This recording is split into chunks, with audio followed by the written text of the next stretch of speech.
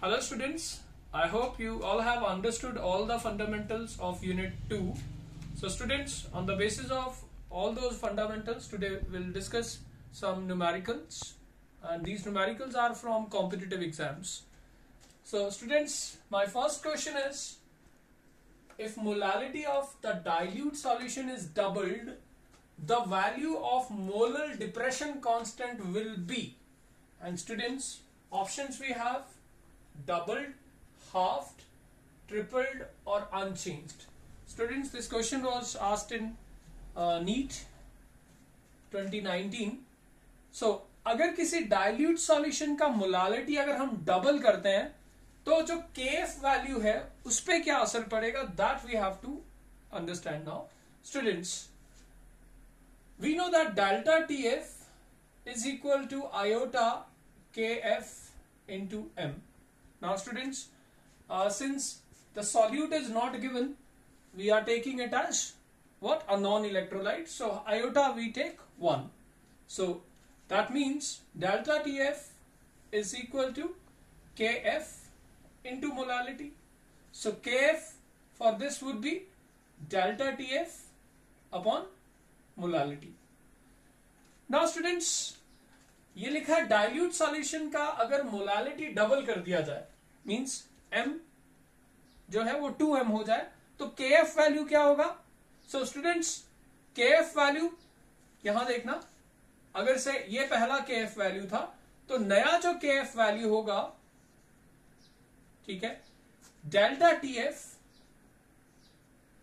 ये वन कह देता हूँ इसको two two upon M two लिख देंगे।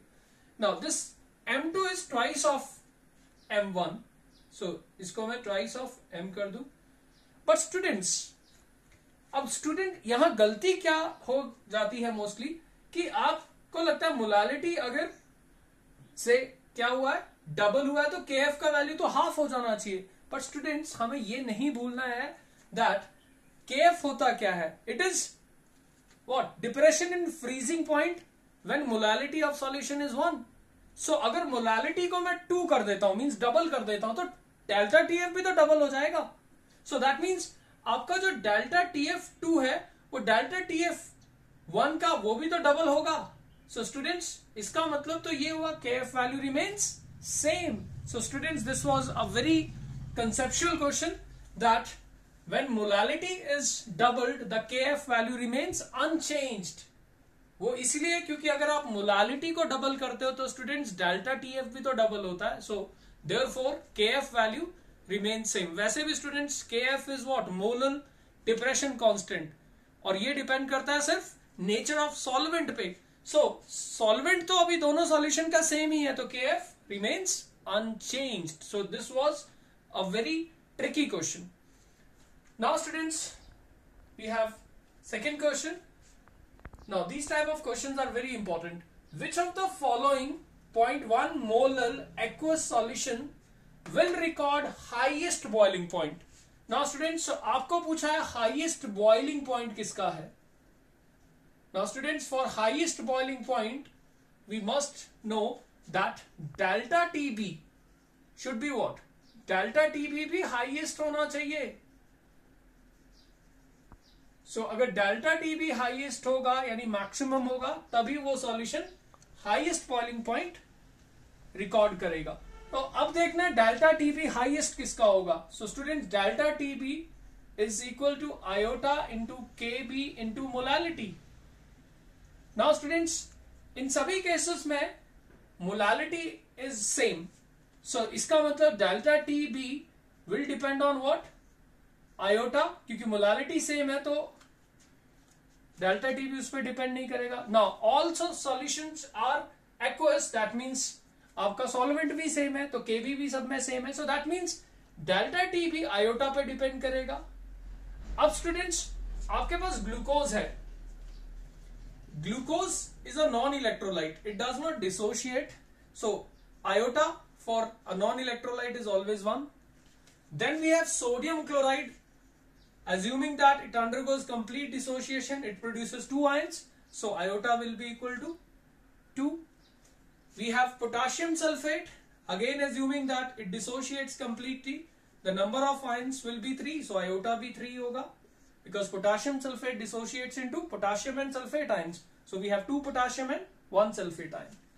Then we have students uh, a complex salt which is potassium hexacyanoferrate students, अगर आप इसका बॉन्ड ऑफ़ फैक्टर निकालते हैं तो सी जो के फोर एफ़ सिक्स है, जब ये डिसोशिएट करेगा it will give four potassium ion and one complex F six four negative ion so total number of ions we have five so iota भी assuming complete dissociation है five होगा.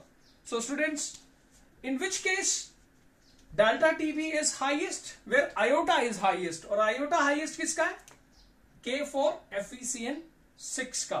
So that is why solution of this substance will record highest boiling point now students we have a similar question which of the following point zero one molal aqueous solution has the highest freezing point but student यहाँ पर freezing point के बारे में पूछा है it should be highest अब ध्यान दें स्टूडेंट्स ये बहुत इंपॉर्टेंट है.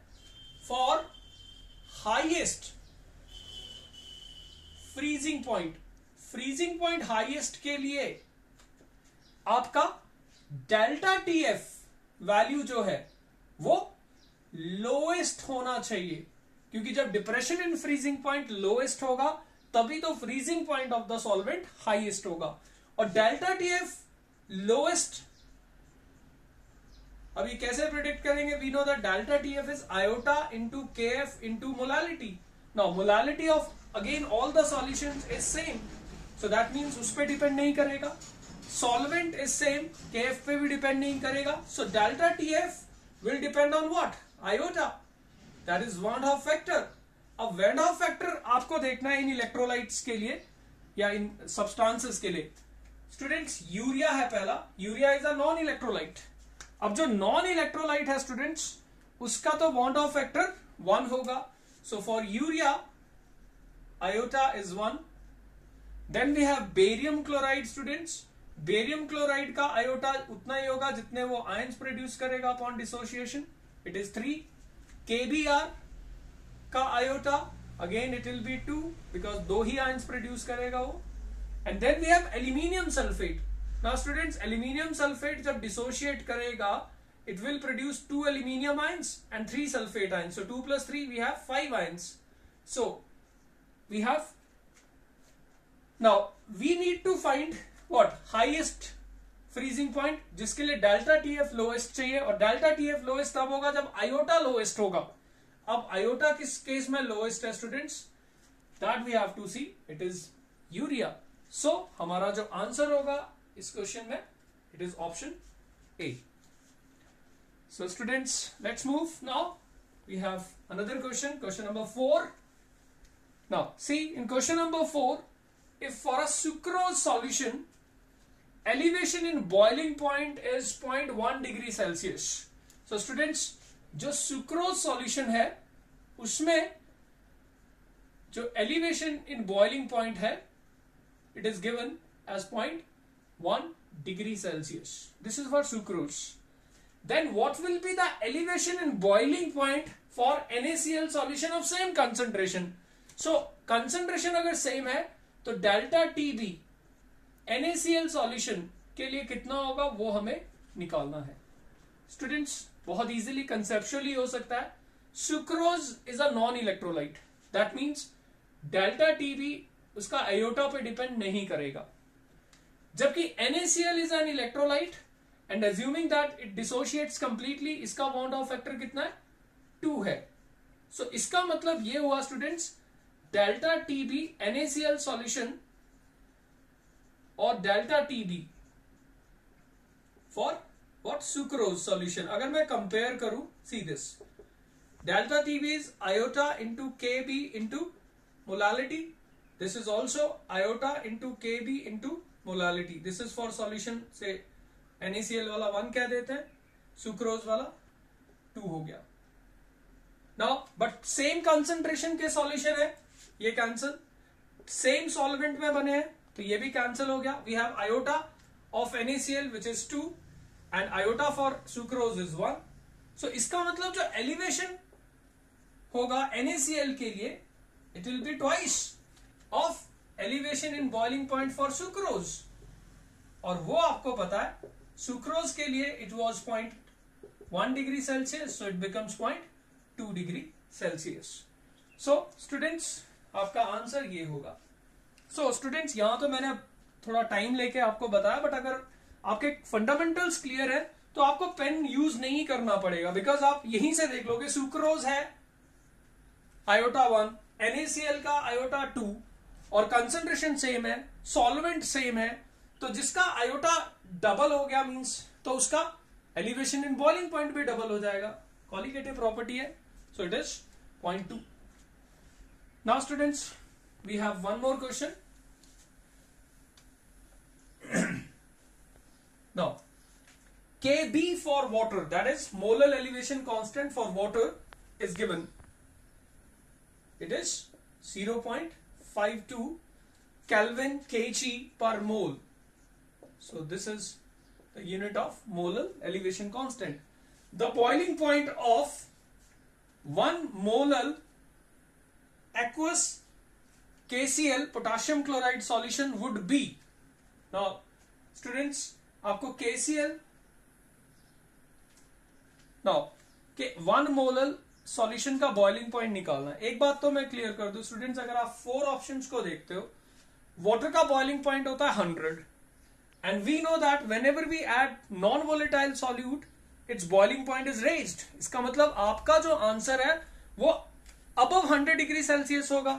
अब 98.96 एंड 99.48 ये तो आप वैसे ही निकाल दो।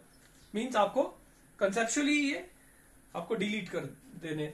अब बचे आपके पास दो ऑप्शन तो अब हम यूज़ कर लेते हैं property we know that delta T B is iota into K B into M So, iota for KCl assuming it dissociates, दो आयंस प्रोड्यूस करेगा तो आयोटा भी टू होगा. K B is point five two molality of solution is one so students it is what आपका ये आ जाएगा one point zero four so जो एलिवेशन इन बॉइलिंग पॉइंट है, वो वन पॉइंट ज़ीरो फोर है. So students there boiling point of water would be hundred उसका होता ही है और अगर उसमें 1.04 का एलिवेशन हो जाए तो स्टूडेंट्स ये कितना बन गया? It is one sorry five four होगा. हंड्रेड ठीक है. So it will be what one zero one point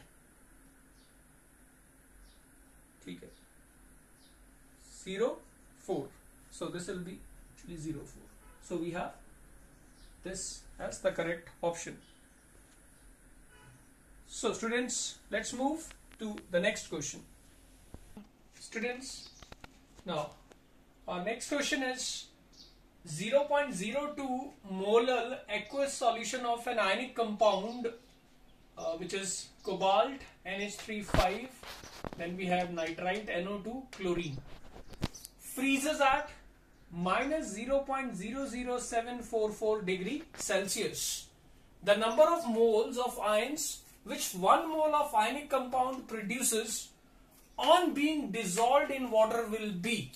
And we have four options 2 3 4 and 1 students one thing is very clear that an ionic compound in water will undergo what? Dissociation so, the number of moles of ions produced will be more than one. इसका एक मोल अगर dissolve करता है तो dissociate करेगा तो एक से ज़्यादा आयंस ही बनाएगा। सो दैट मीन्स ये आंसर तो आपका हो नहीं सकता। अब इनमें से लेट सी कैलकुलेट करना पड़ेगा। So we have which property okay K F दिया है। So delta T F and we know that it is iota K F into molality now students in order to find number of moles of ions हम iota निकालेंगे assuming that वो strong electrolyte है तो जितना iota का value आएगा number of moles of ions भी उतने ही होंगे। So students see this delta T F given है, क्योंकि एक्वस सॉल्यूशन है और फ्रीजिंग पॉइंट जो रिकॉर्ड हुआ है, वो माइनस यानी ज़ीरो से कम हो गया। तो डिप्रेशन कितना हुआ? It is of zero zero zero point zero zero seven four four degree Celsius want of factor निकालेंगे हम kf is 1.86 and molality we have 0.002 now students from this we determine want of factor which is 0.00744 divided by 1.86 into this is 0.002 and students solving this so this is 2 so iota for this compound is 2 which means number of moles because we are assuming that ये पूरी तरह से टूटता होगा तो उसमें हमें conceptually पता है iota is equal to n is equal to two so students ये फिर आपका आंसर होगा। That is two and students एक बात मैं और भी कंसेप्चुअली बता दूँ ये जो आपको आयनिक कंपाउंड दिया है it is a complex compound so C O N H three अब मैं अगर मान के चलूँ दैट ये दो ही आयंस प्रोड्यूस करता है तो इट मींस ये क्लोरीन बाहर है। सो so, जब ये आयनाइज करेगा सी एक कॉम्प्लेक्स आयन प्रोड्यूस करेगा ये which is this and then chloride so we have two moles of ions one complex ion and one simple chloride ion so students now we have one more question question number 7 now in question number 7 if sodium sulfate is considered to be completely dissociated into ions मतलब आपका जो sodium sulphate है अगर assume किया जाए पूरी तरह से डिसोशिएट कर रहा है इनटू आयंस तो स्टूडेंट्स नंबर ऑफ़ आयंस ठीक है एक मोल से तीन मोल बनेंगे। Now the change in freezing point of water when so हमें डेल्टा टी एफ़ निकालना है। Molality is given K F is given So students, delta TF is iota into KF into molality. Now iota would be 3 because we are assuming it is completely dissociating. KF for water is given 1.86 Kelvin kg per mole and molality is number of moles in 1 kg and we have 0.01 moles in 1 kg of solvent. So we have 0.01. So students इसको आप into कर दो this is eight so this is 0 0.0558. So your answer is option C. So depression in freezing point will be this much. Now students, we have one more question. Consider separate solutions of 0.5 molar ethanol aqueous so we have aqueous ethanol and 0.1 molar magnesium phosphate, 0.1 molar magnesium phosphate. This is also aqueous. Then I have 0.25 molar 0.25 molar KBr aqueous solution and I have 0.125 molar sodium phosphate aqueous solution.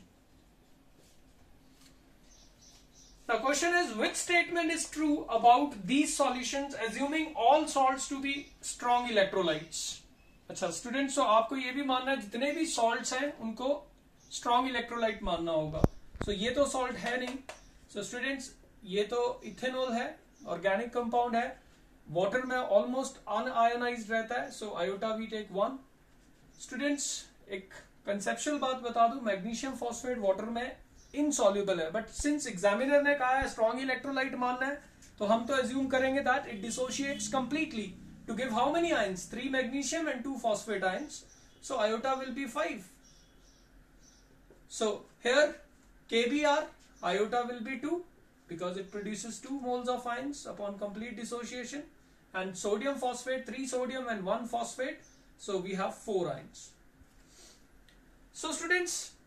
जो effective concentration है इस case में कितना होगा iota into molarity so that means point five ही होगा here we have point one into five सो ये भी point five ही हो गया students this is point two five into two so effective concentration of the solution यहाँ भी point five हो गया point one two five into four students ये भी पॉइंट फाइव ही आ गया नाउ स्टूडेंट्स आपके ऑप्शंस क्या थे all have the same osmotic pressure अब ऑस्मोटिक प्रेशर किस पे डिपेंड करता है students osmotic pressure is iota into C R T ठीक है इफ़ेक्टिव कंसेंट्रेशन हम इसको बोलते हैं iota into C so iota into C that means iota इतना है आयोटा इंटू सी इसमें इतना आ गया आयोटा इंटू सी इसके इसमें इतना आ गया आयोटा इंटू सी इसमें इतना आ गया iota into C so since all these solution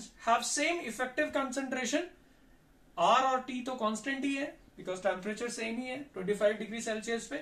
So that means all these solutions have same osmotic pressure. So, we have what? Option a as the correct. Choice so students let's discuss two three more questions students in next question we have when 20 grams of naphthoic acid formula is given C11H8O2 is dissolved in 50 grams of benzene whose Kf is 1.72 Kelvin kg per mole, a freezing point depression of 2 Kelvin is observed. The Van Hoff factor is, and we have 0.5, 1, 2 and 3. So, ye char options hai. So, students again this question is from colligative property delta TF depression in freezing point it is iota into KF into M. और हमें iota ही निकालना है so iota would be what delta T F upon K F Delta T F is given depression two kelvin का था so it is two K F is one point seven two molality student molality होता है number of moles अब वो number of moles weight से निकालेंगे so we have 20 upon molar weight अच्छा इसका मोलर वेट भी निकाल लेते हैं so we have C eleven so 132 plus 8 plus 32 so this is 4 sorry 8 10 12 this is 6 7 and then we have 172 so this is 172 so this is number of moles निकाल लिए हमने पर K G of solvent now 50 gram है benzene का weight so into thousand भी करना पड़ेगा because weights are given in grams so ये आ गया। नाउ स्टूडेंट सॉल्विंग दिस आपका अच्छा ये आपका 172 है। So we have okay 100 here ये जीरोस कैंसल हो गई two and two so students आपका जो आयोटा आ गया यहाँ पर it is point five so iota का वैल्यू आ गया स्टूडेंट्स वॉट पॉइंट फाइव और यही आपको कैलकुलेट भी करना था.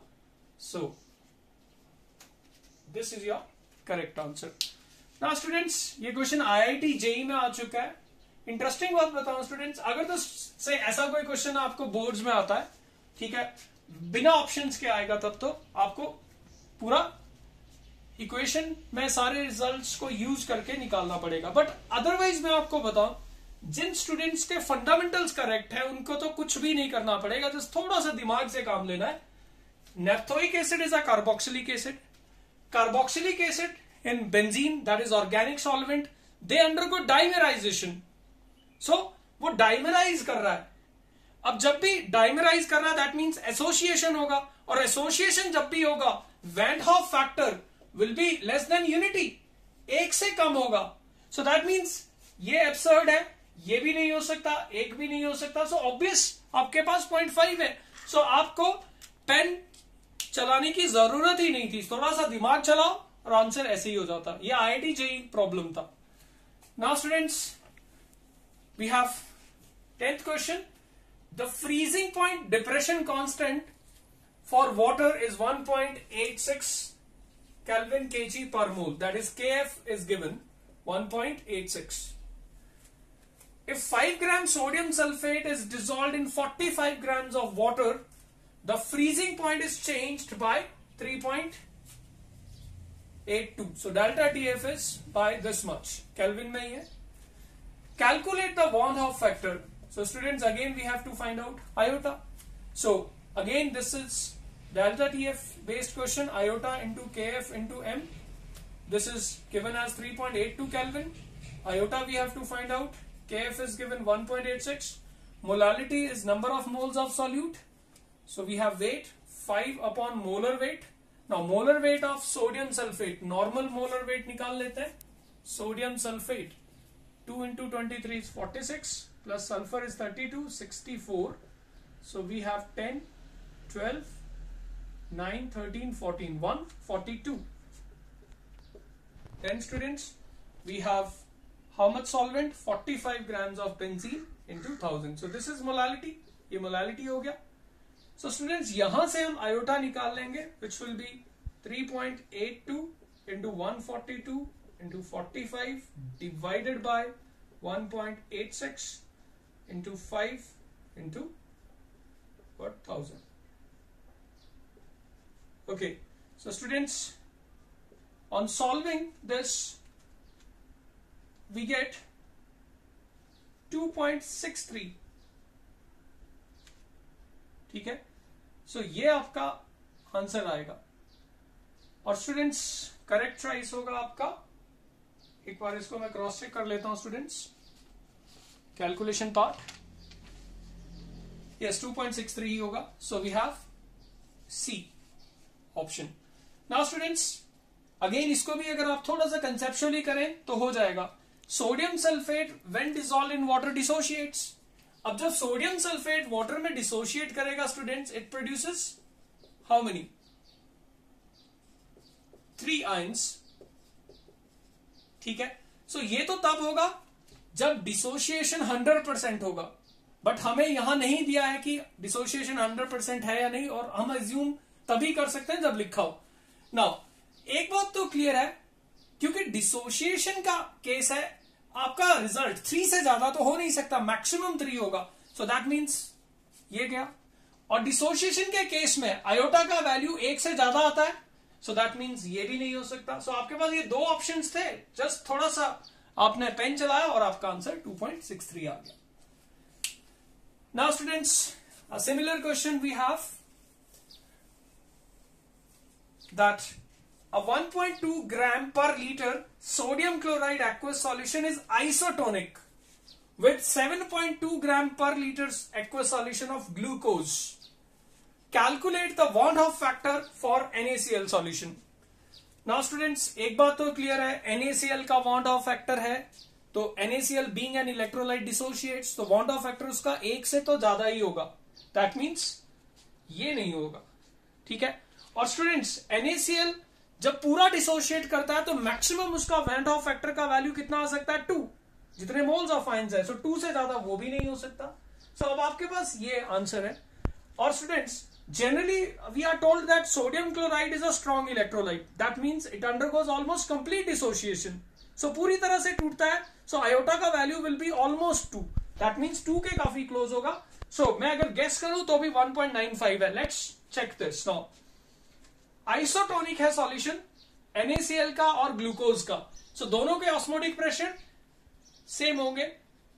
सो so, ये लिख दिया मैंने ऐसे। Pi of NaCl now this will be iota into concentration R T this will be iota of glucose into concentration of glucose solution R T अब अंडर सिमिलर कंडीशन ये कैंसल NaCl का iota निकालना है। Concentration we have 1.2 gram per litre so ये आपका concentration है। And then we have what this is how much 7.2 into iota of glucose is 1 so, students, iota yahan se 7.2 upon 1.2 weight weight weight one more thing अच्छा ये grams में था students molar mass हमें use करना है। So so, इसका molar mass ये gram में हुआ। So molar mass of sodium chloride is 58.5 and that of glucose is 180 ये भी करना है। So iota from this would be 7.2 into 58.5 divided by 1.2 into 180 and solving this students we get 1.95 so students that is all for today. Now from next uh, say class we are going to start next unit that is electrochemistry. Thank you students